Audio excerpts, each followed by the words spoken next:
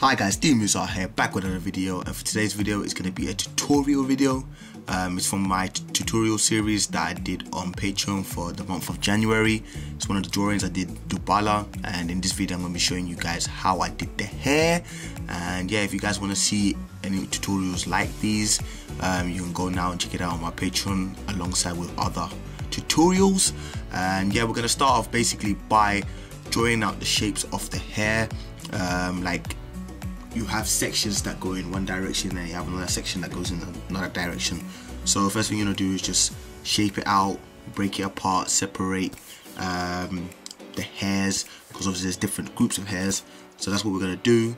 And then once we've done that we're gonna fill in them areas with like lines um, mainly like scribble lines going in all sorts of directions simply because hair is messy um, unless it's someone that has like really silky hair that's going towards one direction then obviously you just want to make sure the pen is going in that direction of the hair as always. But in this case Dubala's hair is pretty messy. It's all over the place. So that's why we have that that a little bit more freedom just to mess around with the hair and just do strokes. Again um, keys with the ballpoint pen that's totally different to pencil is. We don't have like a white highlighter that we can use after to add in the lighting and the just to give it that extra realistic look. So what you want to do is um, leave gaps between the lines um, just to give off that illusion. Uh, it makes it look more like hair than having a solid black area. So lines leave separation um, that will help you a lot to make it look realistic. Um, obviously you want to keep the lines at the same tone as well um, in certain areas but for now all you want to do is just break it apart and you see these little white gaps that I have in between? We're going to come back to them towards the end and then I'm going to add a nice grey shade just to bring all the hairs and everything together. But for now draw the lines in the direction of the hair. Uh, don't forget to leave the separation. It's really key really important. One thing I will say about drawing here is don't take it too seriously. Once you start start to take it really, really serious, uh, uh, you just start to try to do one line at a time, try to get every single detail, which is near enough impossible unless you're a perfectionist and you spend hours and hours and hours on just drawing the hair. That's a different story. Um, but in my case, I'm more of a sketch artist. That's why I class myself as a sketchism artist because I do sketch slash realism. So if you want to spend hours and hours on the hair then you can do it a line at a time and look at each detail zoom in on your image that you're drawing that will help you a lot um, but in my case I told you I'm sketching so that's why I'm just doing it freely not taking it too seriously letting it let loose and it's easier to do hair like that. That's what I personally think. I think if you just let loose and not take it too seriously you have more fun with it. Uh, I personally hate drawing hair as in capital H. Yeah I don't like it but I get it done. Um, this is the way I get it done. Um, by and just letting loose and just enjoying it.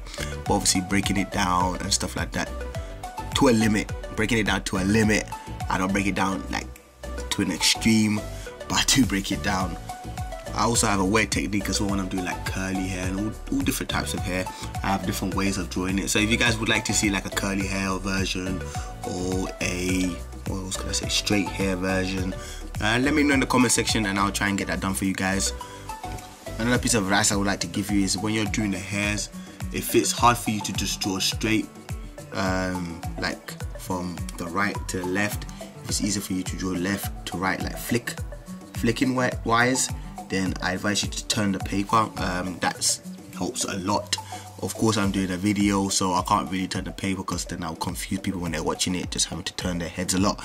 But I would advise you to because obviously I do it like this on video and then once I'm done with the video I go back to it and turn the paper. It makes it so much easier for me um, to add them little extra little details that I need to. But you guys have the freedom. You're not videoing yourself so I advise you to turn the paper when you're drawing it. To make it easier for yourself.